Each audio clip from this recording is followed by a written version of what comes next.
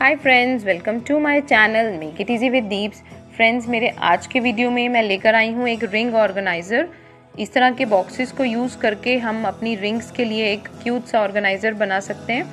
सो so, अब चाहें तो मेटल बॉक्स यूज़ कर सकते हैं या इस तरह का प्लास्टिक का बॉक्स यूज़ कर सकते हैं. आपके किचन में कोई बॉक्स खाली पड़ा हो या फिर पुरानी ज्वेलरी का बॉक्स हो आप उसको भी यूज़ कर सकते हैं.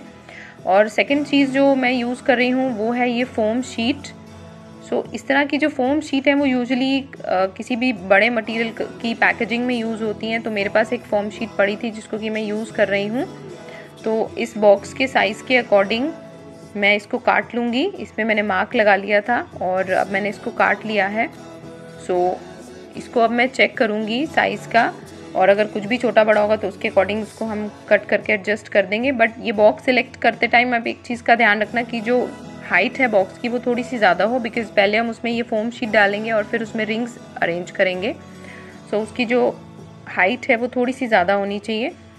और अब इस कटर की हेल्प से मैं इसमें इस तरह के कट्स लगा लूँगी अपनी रिंग्स को अरेंज करने के लिए। और एक चीज़ का ध्यान रखना है ये कट लगाते टाइम कि हमें पूरे किनारे तक इसको नहीं काटना है। सिर्फ़ बीच बीच में से ही काटना है और किनारे से थोड़ा थोड़ा पोर्शन जो है वो हम छोड़ देंगे। और इस तरह से मैंने इसमें कट्स लगा लिए। अगर आपकी रिंग्स बड़ी हैं तो आप इन कट्स में और ज़्यादा गैप दे सकते हैं। और अब मैं इस फोम शीट को इस प्लास्टिक बॉक्स में फिक्स कर दूँगी और इसको लगाने के लिए ग्लू वगैरह की बिल्कुल ज़रूरत नहीं है क्योंकि हमने साइज़ उसके अकॉर्डिंग काटा है तो ये अच्छे से उसमें फिक्स हो जाएगी।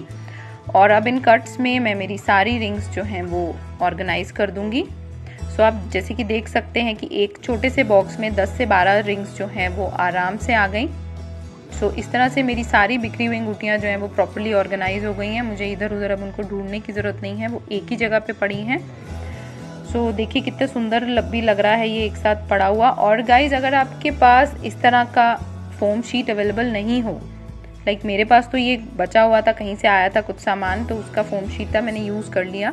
सो so, अगर आपके पास ये अवेलेबल नहीं हो तो एक और चीज़ है जो इजीली हमारे पास अवेलेबल होती है घर पे वो है ये हैंकी सो so, इस तरह का टॉवल हैंकी भी यूज़ करके हम ये सिमिलर ऑर्गेनाइज़र बना सकते हैं. वो भी मैं आपको दिखाऊँगी कैसे. तो मैं ये सेम बॉक्स यूज़ कर रही हूँ और एक मैं ये छोटा सा टॉवल हैंकी यूज़ कर रही हूँ. तो अगर आपका बॉक्स बड़ा है तो आप थोड़ा बड़ा हैंकी यूज़ कर सकते हैं. और बॉक्स के साइज़ के अकॉर्डिंग मैं इसको काटूँगी। तो मैंने इसकी पहले साइड्स काटी और फिर सेंटर में से उसको काट दिया। तो मेरे पास आ गई हैं ये दो पतली स्ट्रिप्स इस हैंकी की और अब मैं इनको रोल करूँगी। दोनों साइड से रोल करना है, आधा एक तरफ़ से, आधा एक तरफ़ से। इस तरह से इसको मैंने रोल कर लिया। दोनों स्ट्रिप्स को मैंने रोल कर लिया और अब इसको मैं प्लास्टिक बॉक्स में रख दूँगी।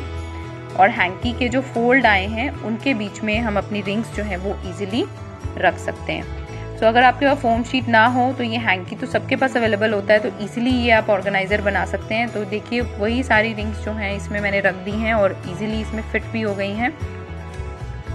सो so गाइज़ आपको मेरा ये वीडियो कैसा लगा प्लीज़ मुझे कमेंट में लिख के ज़रूर बताना। और अगर अच्छा लगा हो तो मेरे वीडियो को आप लोग लाइक ज़रूर करना प्लीज़ फ्रेंड्स लाइक ज़रूर करना। लाइक से बहुत मोटिवेशन मिलता है और मुझे पता लगता है कि आप लोग को मेरा क्राफ्ट अच्छा लग रहा है।